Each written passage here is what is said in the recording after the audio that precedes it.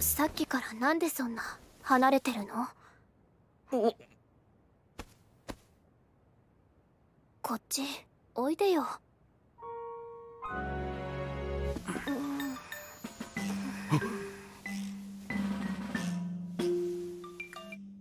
おはよ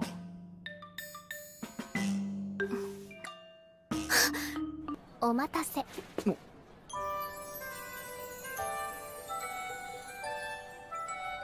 シエスタお前その格好。ん？ああ普段と違う格好だからね。ついでにリボンなんかもつけてみた。どう？うん。これはよほど気をつけてないとうっかり可愛いなどと漏らしてしまう可能性が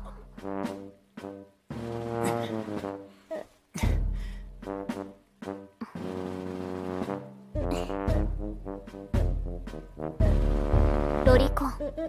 おいおい嘘だろ。それだけを楽しみに生きてきたのに悲しいぜ。いや悪かった。この埋め合わせは必ずするから。あうんの呼吸すぎて怖い。君塚はシエスタさんに自分のこと任せきってるしシエスタさんは君塚の言うことだけはめっちゃ素直に聞くし。お互い自分より相手のこと信じてるからなそれってつまりバカボすみません。追加オーダーお願いします。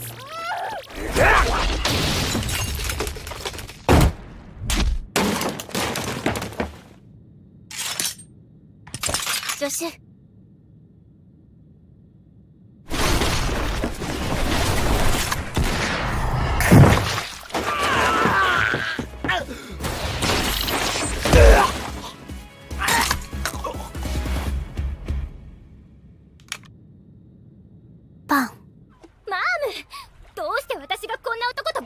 とバディなんて。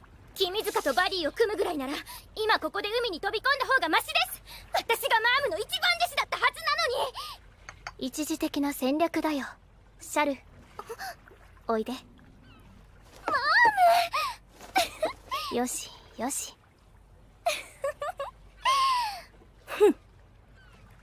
いや羨ましくないわ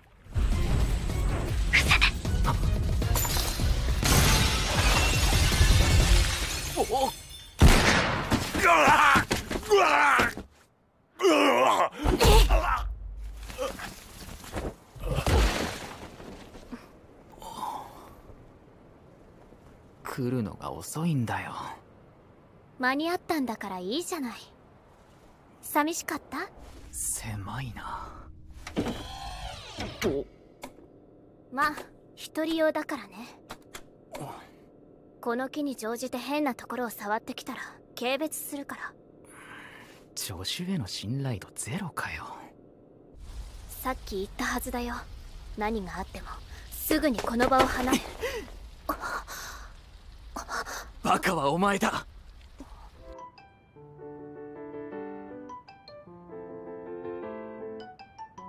尊い。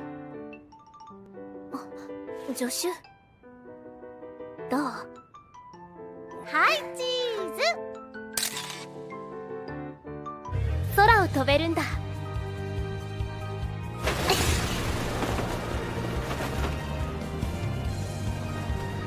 じゃあ先輩ですね。これからよろしくね。先輩。